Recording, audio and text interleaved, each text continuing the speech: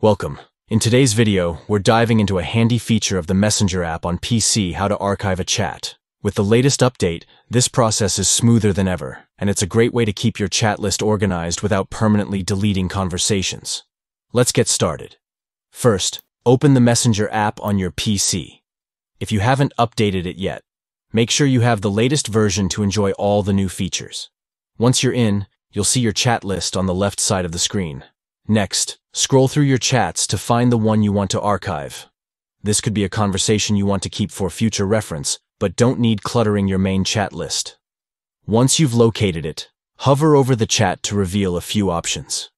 Now, look for the three dots icon, usually found on the right side of the chat preview. Clicking on this will open up a small menu with several options. Don't worry, it's quick and easy. From this menu, select Archive Chat.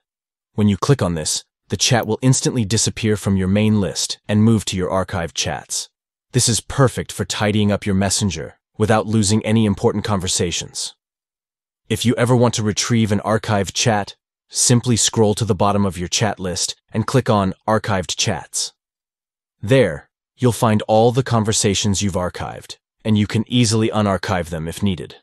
So, to recap, start by opening the Messenger app on your PC. Find the chat you wish to archive, click the three dots, and select Archive Chat. It's as simple as that. Archiving chats not only helps you manage your conversations better, but also keeps your messenger looking clean and organized. So, go ahead and give it a try.